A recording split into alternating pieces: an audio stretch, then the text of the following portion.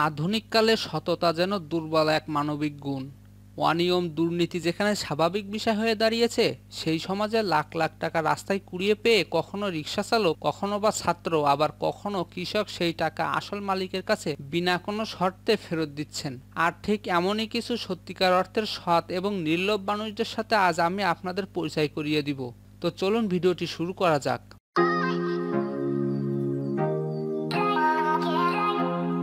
পাঁচ হজরত আলী। গাজীপুরের শ্রীপুর উপজেলায় কুড়িয়ে পাওয়া এক লাখ তেরো হাজার টাকা ফেরত দিয়েছেন হজরত আলী নামের একজন সিএনজি চালিত অটোরিকশা চালক। তিনি সোমবার দুপুরে পাঁচজন যাত্রী নিয়ে উপজেলা শ্রীপুর ইউনিয়ন থেকে বর্মি ইউনিয়নে যাচ্ছিলেন। সামনের সিটে তার পাশে বসেছিলেন সুপারি ব্যবসায়ী আতিকুর রহমান। বর্মি সিএনজি স্ট্যান্ডে সব যাত্রী নেমে যান। পরে চালকের সিটের পাশে কাগজে মোড়ানো কিছু টাকা দেখতে পান তিনি। ওই টাকা নিয়ে প্রায় এক ঘণ্টা স্ট্যান্ডে বসে থাকেন বলে জানান হজরত আলী। তিনি বলেন, এ সময় আতিকুর রহমান স্ট্যান্ডে হারিয়ে যাওয়া টাকা খুঁজতে আসেন। তাকে দেখে তিনি এগিয়ে গিয়ে টাকার প্যাকেট পাওয়ার কথা জানান। টাকার মালিক সুপারি ব্যবসায়ী আতিকুর রহমান বলেন, পৃথিবীতে সৎ মানুষ এখনও রয়েছে, যার বড় প্রমাণ রাখলেন হজরত আলী। এই টাকাই ছিল আমার ব্যবসায়ের মূল পুঁজি।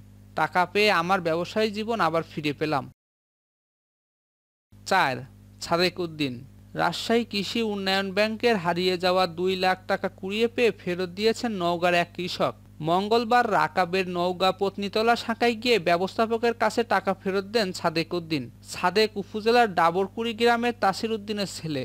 তিনি কৃষিকাজ করে থাকেন। পত্নীতলা শাখার কর্মকর্তা মেজবাউল হক মেজবা বলেন, গত শনিবার পত্নীতলা শাখার ব্যাংক কর্মকর্তা মুশারফ হোসেনের ব্যাগে করে নগদ টাকা ও গুরুত্বপূর্ণ কাগজপত্র নিয়ে মোটরসাইকেলে করে নজিরপুর থেকে বদলগাছি যাচ্ছিলেন। পথে টাকা ও কাগজপত্রের ব্যাগটি পড়ে যায়। বদলগাছি গিয়ে ব্যাগ না পেয়ে অনেক খোঁজাখুঁজির পর রাতে মাইকিং করা হয়।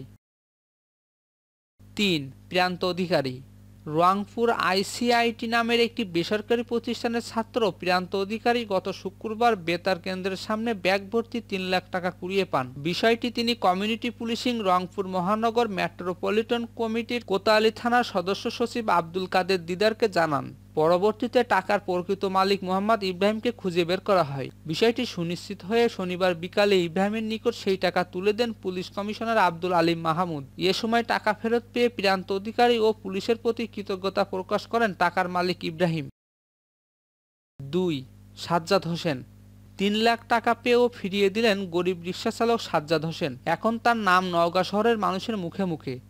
তার সততার পরিচয়ে প্রশংসায় পঞ্চমুখ শহরের রিক্সা চালকরা গত ছয় সেপ্টেম্বর সকাল নয়টার দিকে শিক্ষক আব্দুল হাকিম রাজশাহী যাওয়ার উদ্দেশ্যে শহরের মুক্তির মোড় থেকে ব্যাটারি চালিত রিক্সায় শহরের বালুডাঙ্গা বাস স্ট্যান্ডে যান। রাজশাহীর বাসে উঠে বাস স্ট্যান্ড থেকে একটু দূরে গিয়ে মনে হয় তার সঙ্গে থাকা কম্পিউটার ব্যাগের মধ্যে তিন লাখ টাকা ও প্রয়োজনীয় কাগজপত্র সহ রিক্সায় থেকে গেছে। সঙ্গে সঙ্গে বাস থেকে নেমে বাস স্ট্যান্ডে এসে রিক্সাটি খোঁজাখুঁজি করে না পেয়ে সদর থানায় একটি অভিযোগ করেন। পরবর্তীতে সাজ্জাদ হোসেনের সাথে যোগাযোগ করে সেই টাকা ফেরত পান তিনি। এক লাল মিয়া রিকশায় ফেলে যাওয়া বিশ লাখ টাকার ব্যাগ ফিরে পেলেন রাজীব প্রসাদ নামে এক সার ব্যবসায়ী। শুক্রবার সকালে রিক্সা চালক লাল মিয়া বগুড়ার নন্দীগ্রাম উপজেলার রণবাঘা বাজারে তার রিক্সায় ফেলে যাওয়া টাকা সহ ব্যাগটি মালিককে ফেরত দেন। এদিন বেলা সাড়ে এগারোটার দিকে বগুড়ার পুলিশ সুপার আলী আশরাফ ভুইয়া তার কার্যালয়ে উদ্ধার হওয়া টাকার ব্যাগ আনুষ্ঠানিকভাবে ব্যবসায়ী রাজীব প্রসাদের হাতে তুলে দেন। টাকার ব্যাগ পাওয়া রিক্সা চালক লাল মিয়া শহরের মালগ্রাম মদ্দরপাড়া মৃত মমতাজ উদ্দিনের ছেলে। ওই ব্যাগ পাওয়ার পর শহরের বিভিন্ন স্থানে টাকার মালিককে খুঁজতে থাকেন তিনি। টাকার মালিককে না পেয়ে লাল মিয়ার টাকাগুলি বাড়িতে রেখে আবারও টাকার মালিককে খুঁজতে থাকেন। এক পর্যায়ে তিনি সদর থানা পুলিশের মোবাইল নাম্বার সংগ্রহ করে মোবাইলে যোগাযোগ করে পুলিশকে জানায়। টাকাগুলো তার বাড়িতে হেফাজতে আছে। পরে বাড়িতে গিয়ে পুলিশ টাকাগুলো উদ্ধার করে এবং টাকার প্রকৃত মালিককে সেটা বুঝিয়ে দেয়। তো বন্ধুরা, এই ছিল আজকের আমাদের আয়োজন। যদি ভিডিওটি ভালো লেগে থাকে এবং এই পাঁচজন ব্যক্তি আপনাদের কাছে ভালো লেগে থাকে, তাহলে অবশ্যই আমাদের কমেন্ট বক্সে জানাবেন। এবং এর দ্বিতীয় পার্ট যদি আপনারা দেখতে ইচ্ছুক হন, তাহলে অবশ্যই আমাদের কমেন্ট বক্সে জানাবেন। সবাই আমাদের চ্যানেলটি সাবস্ক্রাইব করবেন এবং আমাদের পাশে থাকবেন। সবাইকে অসংখ্য ধন্যবাদ।